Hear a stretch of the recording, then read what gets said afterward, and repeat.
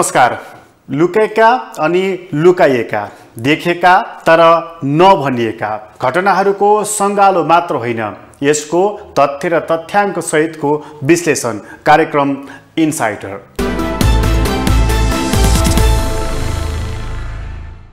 मान्य सदस्य तपाईँलाई बोल्न समय दिएको छैन त्यसकारण मान्य सदस्य बसौँ।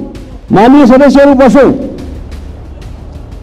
मान्य सदस्य म तपाईँलाई हाम्रो नियमावलीको नियमावलीको नियम एक्काइसको खण्ड घको खण्ड घ आकर्षित गर्न चाहन्छु।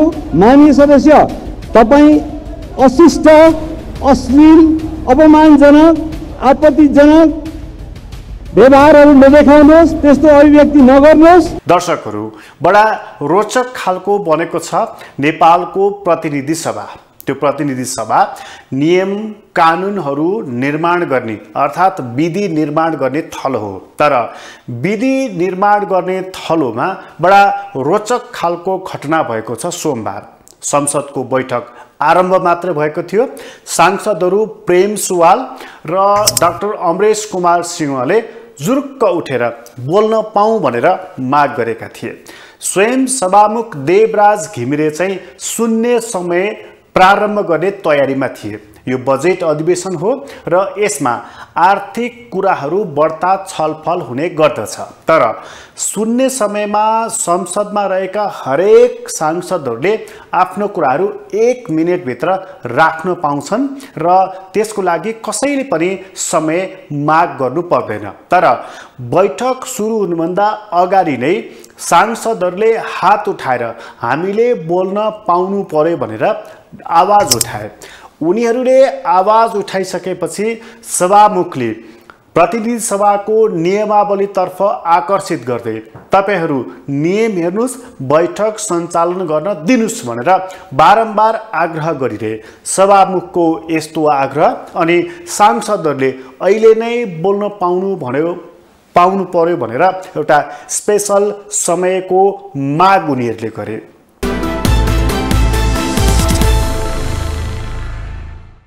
संसदमा छिटै बोल्न पाउनु पर्यो भनेर माग गर्ने सांसद मध्ये डाक्टर अमरेश कुमार सिंह पनि हुन्।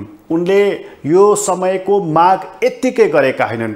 प्रतिनिधि सभाको नियमावली बनाउने मस्यौदाकारहरूमध्येको एकजना अमरेश कुमार सिंह पनि हुन्। उनले कस्ता नियमहरू बनाएका छन् भनेर सोधिराख्नै पर्दैन। लेख्ने मान्छेलाई के लेखेको छ पक्कै पनि हेक्का हुन्छ थाहा हुन्छ। त्यसैले उनले मैले बोल्न पाउनु पर्यो संसदमा किनभने महत्त्वपूर्ण विषय छ र त्यो महत्त्वपूर्ण विषयमा मत राख्नु पाउनु पर्यो भन्ने उनको जिकिर रहेको थियो।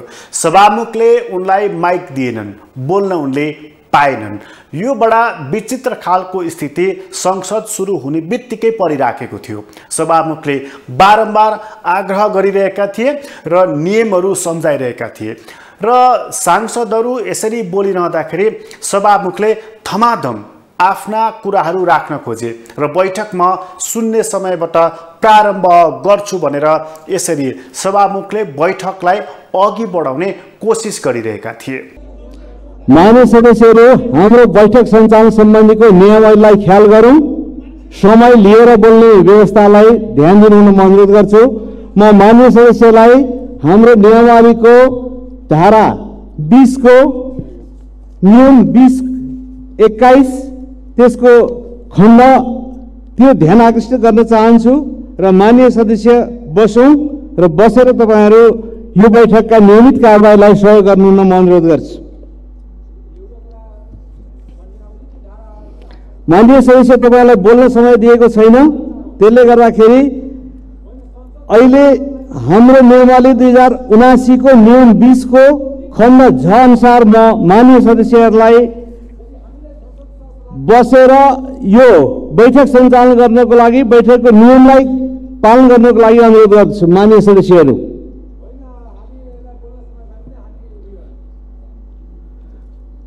मान्य सदस्यहरू अब म नियमित कारवाहीलाई अगाडि बढाउन चाहन्छु र अब हामी शून्य समयको कार्यक्रम प्रारम्भ हुन्छ। शून्य समयमा बोल्न चाहनुहुने मान्य सदस्यहरूलाई एक मिनटको समय निर्धारण गरिएको छ। त्यसले गर्दा अब कारवाही अगाडि बढाउनको लागि म मान्य सदस्यहरू बस्दिनको लागि अनुरोध गर्छु। सभामुखले बैठक अगाडि बढाउने कोसिस गरिराखेका थिए। यो कोसिस गरिराखेको दृश्य त हामीले हेरि नै हाल्यौँ तर कुरा यतिमा मात्रै रोकिएन। सभामुखले कुरा अगाडि बढाउनु खोजेको सांसदहरूले बोल्न पाउनु पर्यो भनेर जिद्दी गरिराखेको। यो क्षण बडा अनौठो ढङ्गबाट विकास भयो।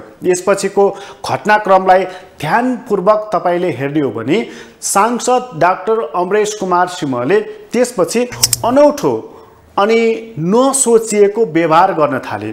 त्यहाँ उनले बोल्न खोज्दै थिए समय पाएनन्। जब समय पाएनन् उनले कोट त खोलिसकेकै थिए।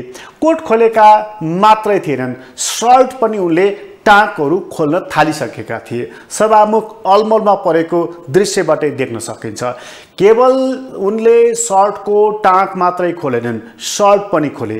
फटाफट सर्ट मात्रै खोलेनन्। गन्जी पनि खोले। यसपछि अमरेश कुमार सिंह संसदमा अर्धनग्न भए। अर्धनग्न भएका डाक्टर अमरेश कुमार सिंहलाई छेउमै रहेका सांसद प्रभु शाहले कर्के नजर हेरे। अन्य सांसदहरूले त्यसै गरी हेरिरहेका थिए यो के हुँदैछ र किन हुँदैछ भनेर? यो बडा रोचक खालको दृश्य संसदमा बन्न पुग्यो। यो बैठकको मर्यादालाई कायम गर्नको लागि मान्य सदस्यहरू बसिदिनको लागि म अनुरोध गर्छु। मान्य सदस्य तपाईँ बस्दिनुहोस्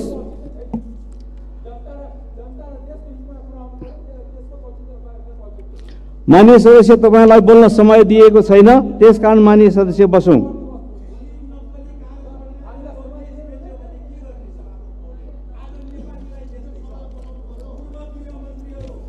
मान्य सदस्यहरू बसौँ।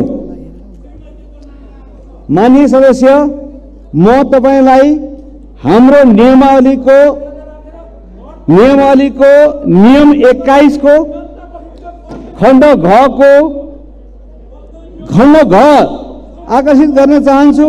माननीय सदस्य तपाईँ अशिष्ट अश्लील अपमानजनक आपत्तिजनक व्यवहारहरू नदेखाउनुहोस् त्यस्तो अभिव्यक्ति नगर्नुहोस्।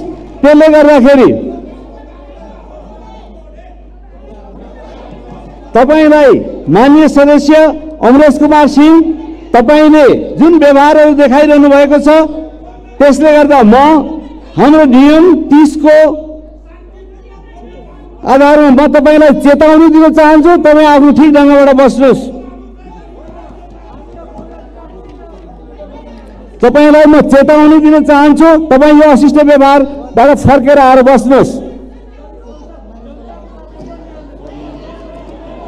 ल मान्य सदस्य म बैठकबाट मान्य सदस्य अमरेश कुमार तपाईँ शिष्ट व्यवहार देखाउनुहोस् तपाईँ असभ्य व्यवहार नगर्नुहोस् तपाईँलाई मैले चेतावनी दिन्छु तपाईँ फर्किनुहोस्। आफ्नो सभ्यताका साथ आफ्नो कुराहरू नियमअनुसार राख्ने कुरामा लाग्नुहोस्। म तपाईँलाई हाम्रो नियमावलीको नियमावलीको नियम तिस अन्तर्गत बैठकमा यस्तो खालको व्यवहार नदेखाउनको लागि चेतावनी दिइसकेको छु। तपाईँ ठाउँमा आएर बसेर अनुशासित हुनु भएन भने तपाईँमाथि थप अन्य कुराहरू हुने कुराको जानकारी गराउन चाहन्छु।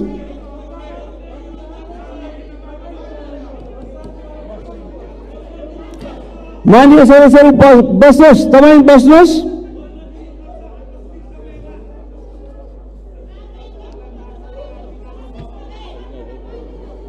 भयो शान्तिमय निकाल्नु भयो शान्त एक एकैछिन भयो तिन चार मिनट हुन्छ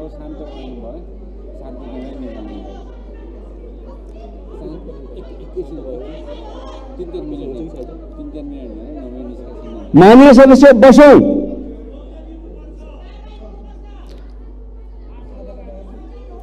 ल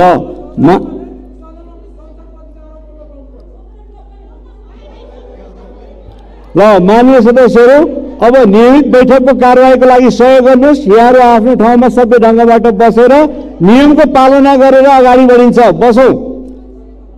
माननीय सदस्यहरू बसौँ। ल।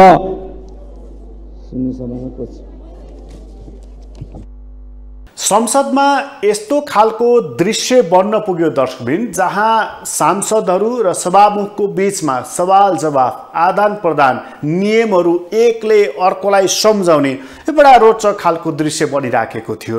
यो दृश्य बनिरहँदा सांसदहरूको मनमा के कुरा उठेको थियो यसै भन्न सकिन्न किनभने त्यत्रा धेरै सांसदहरू रहेको संसद र त्यो मर्यादित र सार्वभौम संसदमा एकजना सांसद अर्धनग्न भइसकेपछि मानिसहरूलाई पक्कै पनि कसैलाई अप्ठ्यारो लाग्यो होला। किनभने त्यहाँ महिला माननीय सांसदहरू पनि हुनुहुन्थ्यो र पुरुष सांसदहरू पनि हुनुहुन्थ्यो। त्यसो गर्दा कुनै पनि एउटा अर्धनग्न पुरुषलाई हेर्नको लागि कुनै महिला सांसदलाई निकै कठिन भएको हुनुपर्छ होला। उसै पनि कोही पनि मानिस त्यस्तो अर्धनग्न भएको सुहाउँदैन। त्यसमाथि एउटा गरिमामय संसदमा सुहाउने कुरै भएन। तर भयो त्यस्तै र त्यो भइसकेपछि बडा विचित्रको घटनाक्रम विकास भयो र यो अमर्यादित कदम भयो भनेर सभामुख देवराज घिमिरेले त्यहाँनिर सांसद अमरेश कुमार सिंहलाई सम्झाउने होइन चेतावनी दिने तबरमा अब त्यसपछि अगाडि बढेको देखिन्छ। सभामुखलाई अधिकार छ प्रतिनिधि सभाको नियमावली सदनले नै बनाएर उहाँको हातमा सुरक्षित राखिदिएको छ। संसदको नियमावलीहरू बिसदेखि तिससम्मका धाराहरू हेर्दै जाने हो भने सांसदहरूले संसदमा कसरी बोल्ने कसरी मर्यादित रूपमा प्रस्तुत हुने ती कुराहरूलाई लिपिबद्ध गरिदिएको छ। नियमको तिस र त्यसपछिका क ख ग घहरू प्रष्ट रूपमा हेर्दै जाने हो भने त्यसलाई संसदमा शिष्ट तरिकाले अनुशासित ढङ्गले बोल्नुपर्ने कुरा मात्रै लेखिएको छैन। अश्लील हरकत गर्न नहुने कसैलाई आरोप प्रत्यारोप प्रत्यक्ष रूपमा लगाउन नहुने विभिन्न खालका कुराहरू सांसदहरूले नै तयार पारेको नियमावलीमा उल्लेख गरिएको छ। यो कुराको हेका पनि अमरेश कुमार सिंहले गरेका छैनन् जसले यो नियमावली बनाएका थिए। कुरा यति मात्रै सीमित रहेको थिएन। जब उनले आफूलाई अर्धनग्न रूपमा प्रस्तुत गरे त्यसपछि सभामुख अलिकति आक्रोशित भएको र अब सांसदलाई पक्कै पनि चेतावनी दिने या कारवाही गर्ने तहसम्म सभामुख पुगेको। सभामुखकै मुखाकृतिबाट बुझ्न सकिन्छ। सभामुख अघि बढेको पनि देखिन्छ। सभामुखलाई नियमले त्यो छुट पनि दिएको थियो कि यदि सांसदहरू अमर्यादित अभद्र अश्लील भए भने तिनीहरूलाई सचेत गराउने त्यतिले पुगेन भने निलम्बन गर्ने संसदको बैठकबाट कारवाही गर्ने केही समयसम्मको लागि सांसदहरूलाई निलम्बन गर्ने यी सबै छुटहरू सभामुखलाई दिएको थियो। सभामुख झन्डै झन्डै यो अवस्थामा पुगिसकेका थिए। तर यो कुरा जसै सांसद अमरेश कुमार सिंहले बुझे त्यसपछि उनले हतार हतार गन्जी सर्टहरू लगाएर आफूलाई पुनः मर्यादित तवरमा ल्याए र उनी कारवाहीको यो डन्डा चल्नुभन्दा अगाडि नै जोगिए।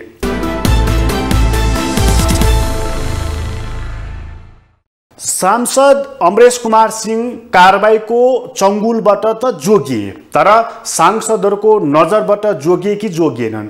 आम दर्शकहरूको आम जनताको जसले उनलाई जिताएर पठाएका थिए तिनको नजरमा उनी जोगिए कि जोगिएनन् मर्यादित भए कि भएनन् यो बारेमा अलग्गै बहस गरौँला। तर उनकै साथीहरू उनकै माननीय सांसदहरूले उनलाई कुन रूपमा हेरे होलान्? एकछिन यसमा चर्चा गर्ने हो भने उनलाई सांसदहरूले खासै राम्रो सांसदको रूपमा लिएको जस्तो देखिएको थिएन। जबकि उनले यसभन्दा अगाडि संसदमा भ्रष्टाचार नियन्त्रणका लागि जति महत्त्वपूर्ण कुरा तेजिलो गर्विलो ढङ्गबाट उठाएका थिए। त्यसमा हरेक सांसदहरूले स्वाद मानि मानिकन सुनेको उनलाई साथ दिएको समर्थन दिएको देख्न सकिन्छ।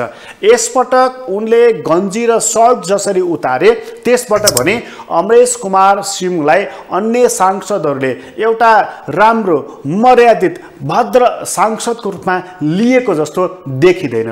यदि त्यस्तो थियो भने यो घटनाको लगत्तै बोल्ने एकजना माननीय सांसदले उनका बारेमा यस्तो टिप्पणी गर्दैनथे।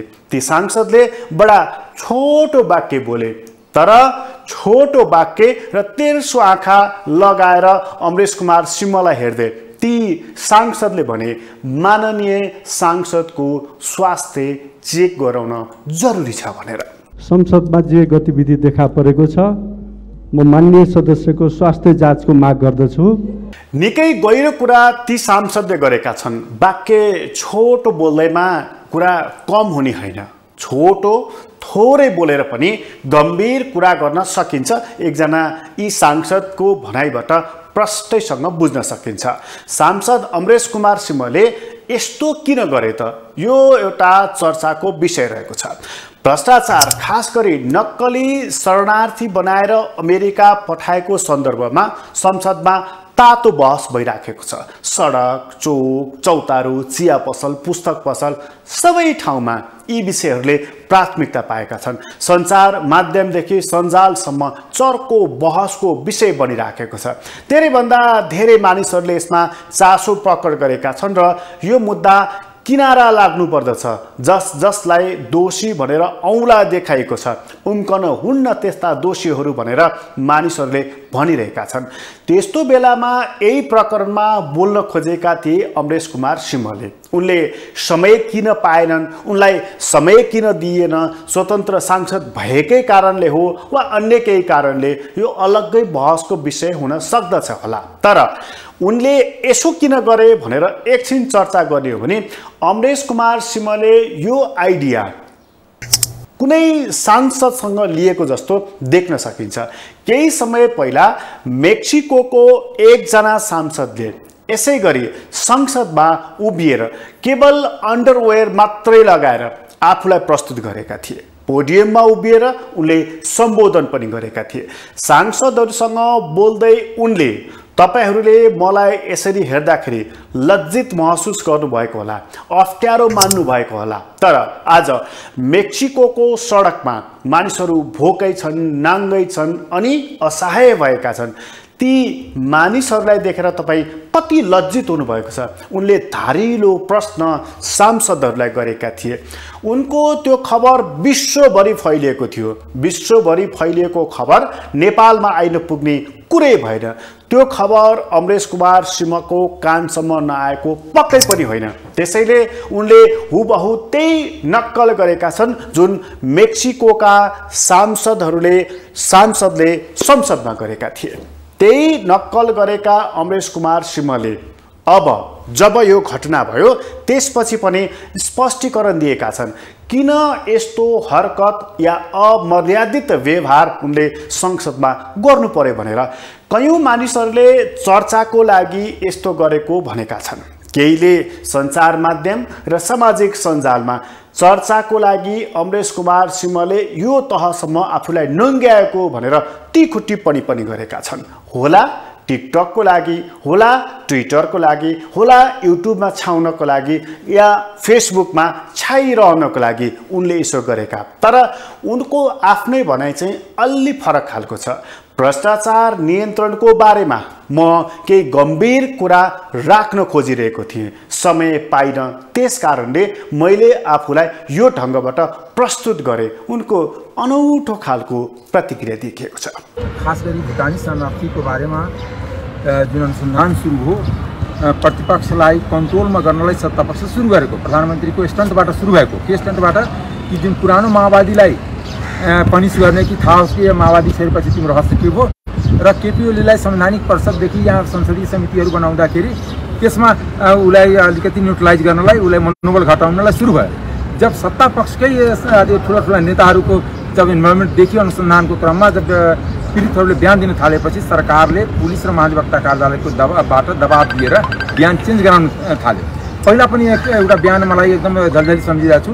अख्तियारमा पहिला एउटा रौनियार डाक्टर रौनियार थियो बिपी कोराला हेल्थ इन्स्टिट्युटको जहानको बिचरा मऱ्यो पनि। उसले सात सौ रुपियाँ बुझाएर भिजी बनाएको थियो। उसले अख्तियारमा अख्तियार लागेपछि उसले बिहान दिएको थियो। त्यहाँ अख्तियारको कर्मचारी र प्रमुखको मिलोमतोमा त्यो बिहानको पन्ने हटाइदियो। त्यो मैले एकदम जानकारी राखेको छु। कुनै भएन छैन त्यस कारणले मैले के के उहाँलाई आग्रह गर्ने कि मलाई भसाएपछि दुई मिनट बोल्न दिनु। म धेरै टाइम पनि मागेको थिइनँ। यहाँ आकाशमा त दुई मिनट पाउने हो। दुई मिनट बोल्न दिनु। मैले उहाँलाई पहिले कि जाएन भने म प्रोटेस्टको अन्तिम लेभलसम्म म जान्छु र मैले उहाँलाई भने पनि शब्दमा पनि म कपडा खोल्छु किनकि मेरो लागि सदन निर्वस्त्र हुन्छ जनताको लागि जहाँ एउटा सदन निर्वस्त्र हुन्छ त्यो जनता नेपाली जनता भ्रष्टाचारको कारणले यो दलाल तन्त्रको कारणले यो बिचौलियाको कारणले विदेशी नै बाध्य भएर छन् त्यो नग्न दिनका दिन भइरहेछन् नग्न खालि बस्ने होइन। आर्थिक रूपले शिक्षाको रूपले गरिबीको रूपले दिन प्रतिदिन नेपाली जनता गरिब हुने दिन दिन प्रतिदिन नेपाली जनताको शिक्षा समाप्त हुने बिचौलियाको हाबी हुने र आजसम्म त्रिसठी पछि कुनै नेतामाथि भ्रष्टाचारलाई किन कारवाही भएन? यही सर्वदलीय भ्रष्टाचारको कारणले मैले सर्वदलीय भ्रष्टाचारको गाँठो पाउनको लागि मैले सदनको ध्यान नेपाली जनताको ध्यान आकृष्ट गर्नै खोजेको थिएँ। त मैले समय उहाँलाई पहिले भनेको यदि भएन भने यो मेरो लागि नेपाली जनताको लागि यो सदन निर्वस्त्र हुन्छ र म अर्धवस्त्र हुन्छु। मैले पहिले सभामुखलाई भनेर पहिले सदन सुरुभन्दा पहिले मैले भनेको थिएँ उहाँलाई। तपाईँले त्यसो गरेर संसदको मर्यादा होइन संसदमा होइन, एउटा कुरा कुनै स्ट्यान्ड होइन। मैले एउटा कुरा के भने तपाईँहरूलाई म सिधा भन्छु कि आजसम्म त्रिसठीदेखि अहिलेसम्म के कुनै नेता भ्रष्टाचारी छैन। तपाईँहरू त भन्नुहोस् छैन भने ठिक छ जब नेपाली समाजले स्वीकार गर्छ। मलाई के त्यसमा के भन्नुहुन्छ मैले नेपाली समाजको नेपाली जनताको प्रतिनिधि हो। जनताको प्रतिनिधि मैले अन्तिम जुन विरोधको अन्तिम पराकाष्ठामा म गएको हो त्यो रूपमा चाहिँ मैले बारम्बार उभिरहेको मलाई दुई मिनट समय दिनुहोस्। म त यो होइन कि म दस पा दसजना छु कि दस दुई दुई मिनट बिस मिनट खाइदिन्छु। दुई मिनट यो कर्मकाण्डी बजेट बजेट बिचौलियाले बनाउने अर्थमन्त्रीले पढिदिने संसदले हात उठाउदिने। यो संसदमा बोल बजेटको छलफलमा बोलेर एउटा फुल स्टप कमा चेन्ज भएछ। म नयाँ सांसद होइन। चौथो कार्यकाल छ। कुनै आवेशमा कुनै एकजना सांसदले उठाएछ कि उसको माइन्ड सेट हुन्छ झोलेहरूले माइन्ड सेट गर्छ एउटा पढे लेखेको सांसदलाई च्यालेन्ज गर्छ किनकि म राष्ट्रियमा उभिन खोजिरहेको छु बिचौलिया तन्त्रको विरुद्धमा उभिन खोज्दैछु। अनि भ्रष्टाचारीको विरुद्धमा उभिन खोज्दैछु मलाई कति हत्याको पनि हुन्छ। मलाई राज्यलाई पनि प्रधानता भेटेर भन्छु मेरो हत्या भयो भने त्यसको जिम्मा राज्यले लिनुपर्छ। मैले उहाँले लिखित निवेदन दिएँ। अमरेश कुमार सिंहले आफूलाई यसरी संसदमा प्रस्तुत गरेपछि यसका पक्ष यसका विपक्षमा विभिन्न खालका टिप्पणीहरू देखिएका छन्। व्यक्तिका आफ्ना आफ्ना धारणाहरू हुन्छन्। विरोध जनाउने विभिन्न खालका मानिसहरूका चर्तीकला हुने गर्दछन्। कसैले आफ्ना कुरा बोलेर विरोध जनाउँछन् कोही बोल्दै नबोलिकन पनि विरोध जनाउने गर्दछन्। कसैले अमरेश कुमार सिंहले जस्तै लुगा खोलेर विरोध जनाउने गर्दछन्। तर यही क्रम अघि बढ्दै जाँदाखेरि यसले कहाँ पुर्याउँछ यो चाहिँ हेर्नुपर्ने हुन्छ। आज सर्ट र गन्जी खोलेका अमरेश कुमार सिंहले योभन्दा पनि अति भयो भने के खोलेर विरोध जनाउने छन्? अहिले मानिसहरूले प्रश्न गरिरहेको यही विषय रहेको छ। यो एउटा भद्र विमति थियो वा यो अभद्र व्यवहार थियो यो कुरा बुझ्न जरुरी रहेको छ। सभामुखकै रुलिङबाट अभद्र थियो भन्ने कुरा त प्रष्ट भइसकेको छ। अब यसले कति चर्चा पाउनेछ यो अलग कुरा हो। तर यस्तो हरकत नगर्नको लागि अन्य सांसदहरूलाई यसले एउटा सन्देश दिनेछ निरुत्साहित पार्नेछ वा चर्चाको लागि योभन्दा अर्को उलटफेर गर्ने खालको चर्चा कमाउने खालका स्टन्टबाजीहरू हुनेछ। यो चाहिँ फेरि बहस गर्नुपर्ने विषय बनिराखेको छ। संसदमा अमरेश कुमार सिंहले यसरी आफूलाई प्रस्तुत गरिरहँदाखेरि त्यही दिन अर्को घटना एउटा सार्वजनिक भएको छ। अमरेश कुमार सिंह जति साधु देखिएका छन् त्यति होइनन् भनेर उनलाई एकजना मानिसले अख्तियार दुरुपयोग अनुसन्धान आयोगमा उजुरी दर्ता गरेका छन्।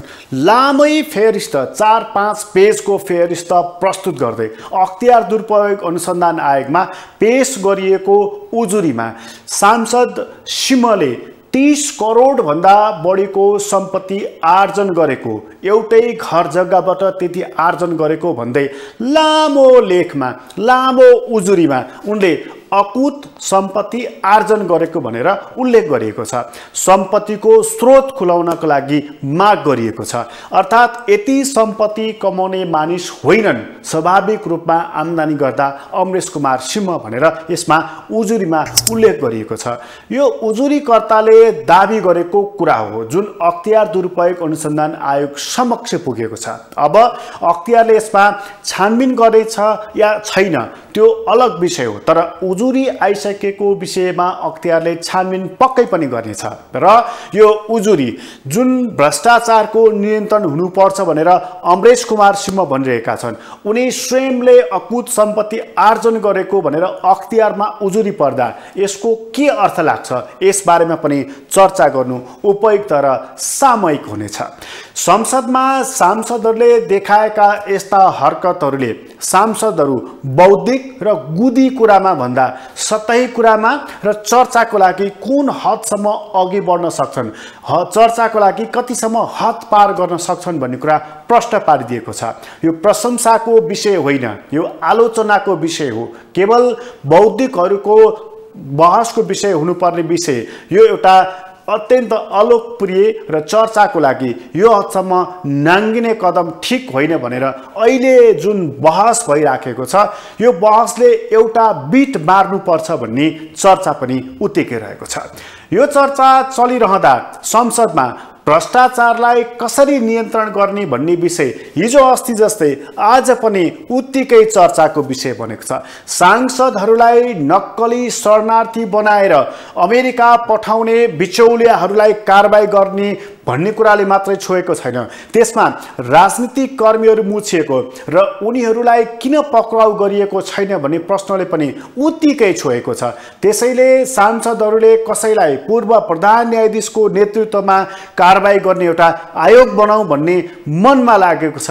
कसैलाई यसको दुधको दुध पानीको पानी छुट्याउँ भन्ने लागेको छ। तर छुट्याउने कसरी? यसमा राजनीतिक दलहरूको सहयोग समर्थन कति रहने? यो प्रश्न छ।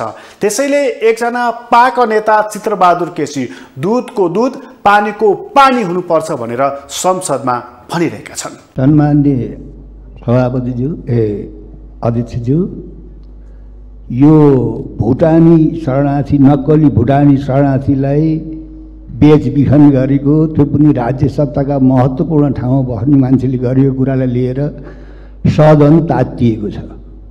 यसभन्दा पहिले पनि नेपालका शासकहरू राज्य सत्तामा बस्नेहरूले गर्नु नगर्नु गर्ने र यस्तै गरेर चाहिँ नि सदन तातिन्थ्यो। त्यसपछि नयाँ काण्डहरू आउँछन् अनि फेरि सदनको ध्यान नयाँतिर जान्छ।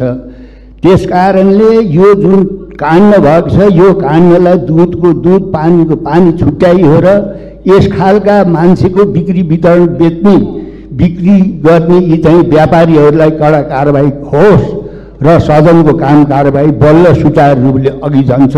धन्यवाद।